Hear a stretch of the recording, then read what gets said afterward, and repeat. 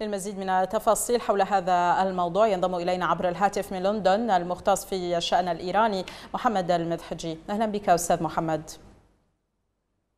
مرحبا فيكم وتحياتي للسادة المشاهدين الكرام.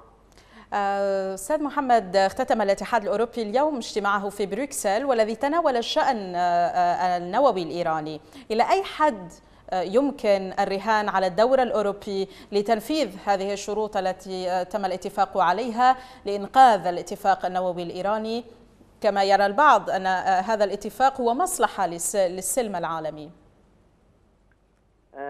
طبعا هذا هذا الحديث بأن الاتفاق النووي مصلحة للسلم العالمي هو ليس إلا جزءا من دعاية الأوروبيين والجانب الروسي والصيني لأنه المتنفع الأساس من من هذا الاتفاق النووي.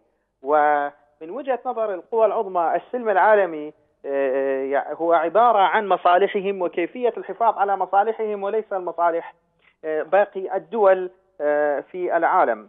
أما بالنسبة لحماس الأوروبيين باتجاه الاتفاق النووي يمكن فهم هذا الحماس من هذه الزاوية بأن الاتفاق النووي هو موطئ قدم الأخير للأوروبيين للبقاء على مشهد الشرق الأوسط من بوابة إيران. والأوروبيون أثبتوا دوما أنهم يتعاملون مع قضايا الشرق الأوسط من بوابة المنافسين أو أعداء العرب من أجل فرض سيطرة أو أجندة معينة على المنطقة العربية بغض الطرف عن من يحكم أو الأنظمة هناك.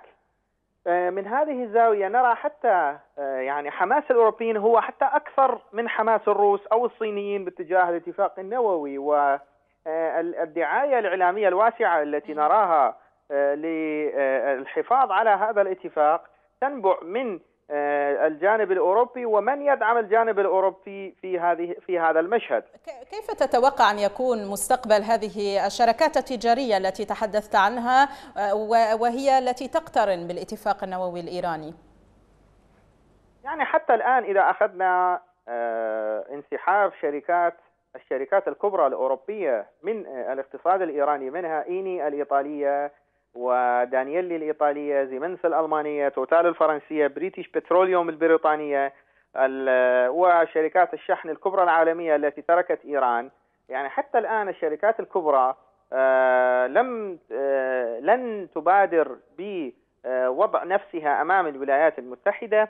وخاصة بأنه الأوروبي الحكومات الأوروبية رفضت إعطاء ضمانات كاملة لهذه الشركات بالنسبة لتعويض الخسائر المحتملة التي تلتحق بهذه الشركات بسبب العقوبات على إيران. وهذا وعجز الأوروبيين بهذا الجانب واضح جدا والسبب هو الارتباط العضوي بين النظام المالي الأوروبي والنظام المالي الدولي وخاصة النظام المالي الأمريكي.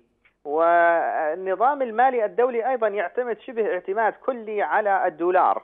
فلا يمكن للأوروبيين أن يعوضوا الشركات التي يفرض عليها عقوبات من قبل الولايات المتحدة بسبب هذا الارتباط البنكي ما بين الولايات المتحدة والدول الأوروبية. لأنه هذه العقوبات ستشمل تلك التعويضات أيضا وستفرض عقوبات على البنوك الأوروبية أيضا نعم.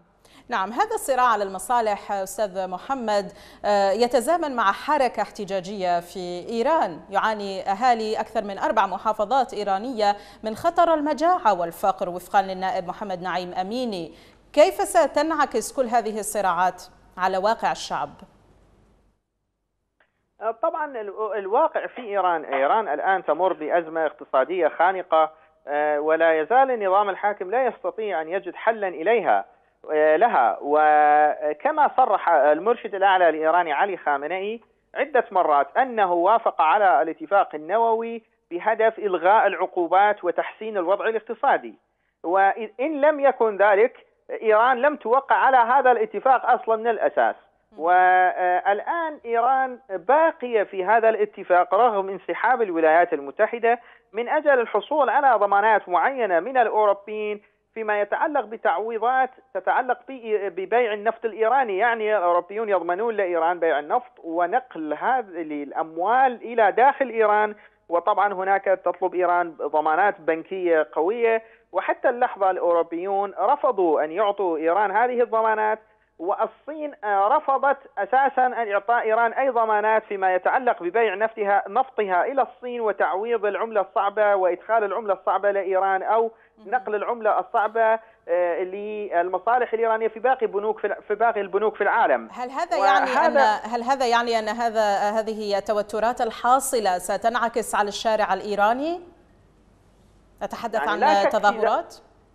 يعني لا شك في ذلك اليوم يعني منذ أسبوع وسائقو الشاحنات عملوا اضرابا أضربوا عن العمل في إيران طالبوا بزيادة رواتبهم بنسبة 50% ما رفضته الحكومة الإيرانية لأنه أي زيادة في الشاحنات نقل الوقود في إيران سيؤدي إلى زيادة جميع أسعار جميع الخدمات والسلع في إيران ما سيؤدي إلى تفاقم أزمة الغلاء في إيران واصلا المواطن احتج عدة مرات خلال السنتين الماضيتين حول نسبة الغلاء وارتفاع الأسعار في إيران أنه هذه العقوبات لا لم تبدأ أصلا والعقوبات ستبدأ بعد ستة أشهر من الآن كما أعلنت الولايات المتحدة لكنه هذه الحديث عن العقوبات انعكس سلبا على إيران. على سبيل المثال خلال 24 ساعة بعد إعلان انسحاب ترامب من الاتفاق النووي العملة الإيرانية سقطت بنسبة 15%